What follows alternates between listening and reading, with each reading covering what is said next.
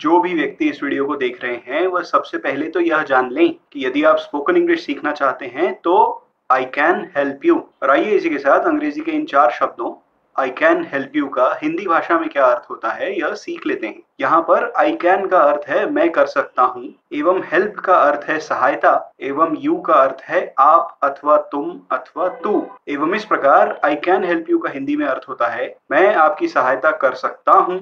एवं मैं तुम्हारी सहायता कर सकता हूँ, एवं मैं तेरी सहायता कर सकता हूँ, यदि आई कैन हेल्प यू शब्दों को एक पुरुष कह रहे हैं तो। एवं इसी प्रकार यदि आप एक स्त्री हैं, एवं आई कैन हेल्प यू शब्दों का उपयोग कर रही हैं तो आपके लिए इन शब्दों का अर्थ है, मैं आपकी सहायता कर सकती हूँ, एवं मैं तुम्हारी सहायता कर सकती हूँ, एवं मैं तेरी सहायता कर सकती हूँ। उदाहरण के लिए इस वीडियो के आरंभ में मैंने आपसे कहा कि यदि आप स्पोकन इंग्लिश सीखना चाहते हैं तो आई कैन हेल्प यू इस वाक्य का भावार्थ यह है कि मैं आपकी स्पोकन इंग्लिश सीखने में सहायता कर सकता हूँ। एक और उदाहरण वाक्य जान लेते हैं। I can help you to learn to speak English fluently एवं इस वाक्य का हिंदी में अर्थ है कि मैं आपको धारा प्रवाह अंग्रेज़ी बोलना सिखाने में सहायता कर सकता हूँ। अथवा मैं धारा प्रवाह अंग्रेज़ी बोलना सीखने में आपकी सहायता कर सकता हूँ। अब आपकी बारी है, इस वीडियो को लाइक करिए, अपने परिचितों में शेयर करिए और इस चैनल को अभी सब्सक्राइब कर लीजिए